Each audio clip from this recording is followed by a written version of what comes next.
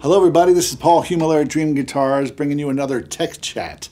We do a number of these videos where we just talk about particular topics about guitar design or um, guitar care. Um, this one today is about wedge bodies. We're cleverly calling it the skinny on wedge bodies. Um, so what is a wedge body and why do you care? Um, that's really the, what this video is all about. So it's real simple. A typical guitar body is um, the same depth all the way across, all right? So say it's four and a half inches at the tail block. That's a measurement that you'll see on our website. It would be four and a half inches here, here, and here, same all over. But the wedge body, and, and these days it's being called the, the Manzer wedge. Uh, my good buddy Linda Manzer uh, made it popular um, some years ago now um, in response to players needing an ergonomic difference, which would be where the guitar is slightly thinner up here, where it goes under your arm. Um, so obviously the benefit there is instead of the guitar being so big, like imagine you're holding a dreadnought on your right knee with your right arm over the top, it puts your shoulder way out there and makes the whole guitar feel big. If you can lessen this depth here, the arm comes down, everything's closer to the body, and it's a little bit more comfortable and gets rid of that bluegrass player shoulder problems, which so many people I know have once they get to be in their 50s and 60s. 30, 40 years of doing this can wear and tear on the shoulder. So it is an important ergonomic thing. Um, so let's get into it. Let me show you first a picture's worth a thousand words. So this is a wedge body. So you can very clearly see on this Kostal guitar that it's fatter here and thinner here. That's really it. It's, it's kind of a simple design element. Of course, it's a lot of um, different things for the maker to do to build it, but that's really the whole idea.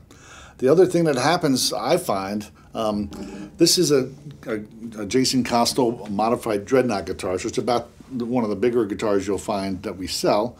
And by doing this, it does make it feel much more like an OM uh, here on this part of my body. Doesn't feel like I'm holding a big dreadnought. Um, and of course, you still have the option to play on the left leg with the strap, whatever you want to do to make it even more comfortable. I'm a big fan of straps, as you know.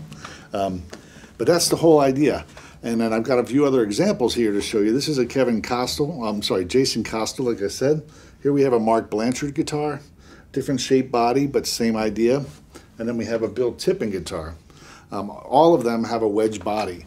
The other thing I think you get a benefit of um, from the wedge body is a bit of control of the bass response. So sometimes on bigger guitars, the bass response can be overpowering for the trebles.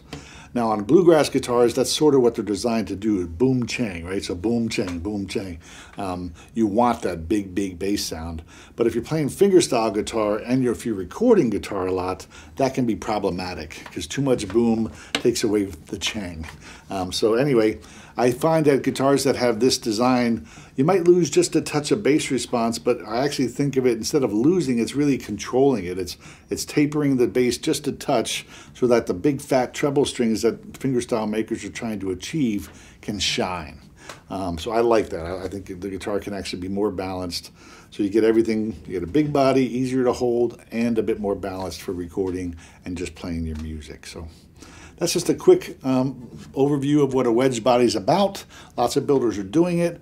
Um, we also do a lot of custom building here, and most of our builders will add that as an option as well. So if you build a guitar with us, just let us know if you want to do a wedge body.